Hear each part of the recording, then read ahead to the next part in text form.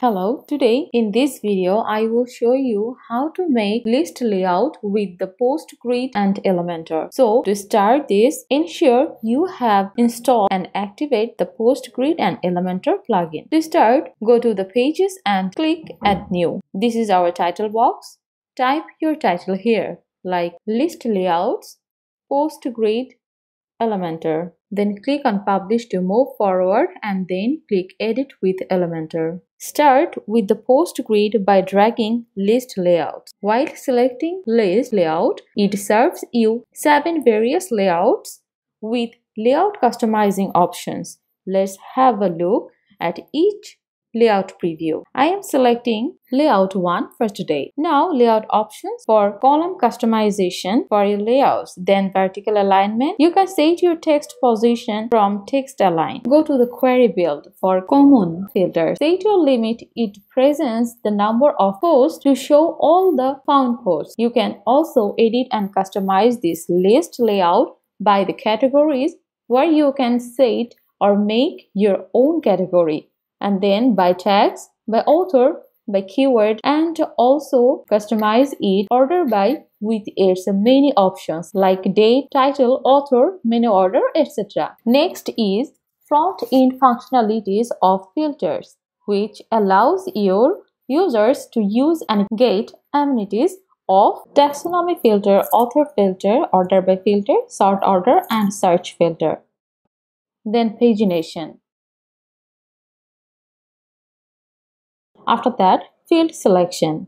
It let you to customize section title, post title, post thumbnail, post excerpt, metadata, read more button, and social share.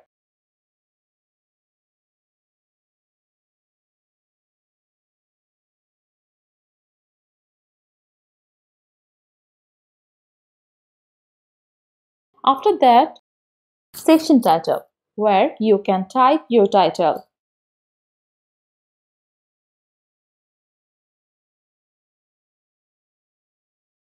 Next is post title for rearrange and customize your title tag. Enable title hover underline and few more. Now thumbnail for resizing your list image width, image height.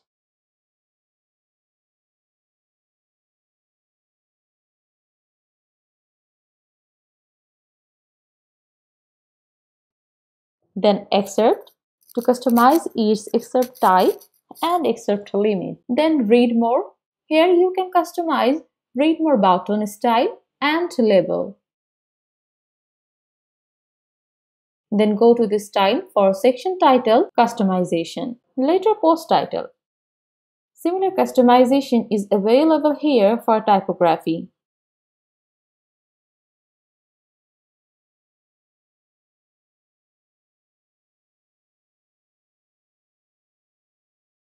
Then read more, customize your text color.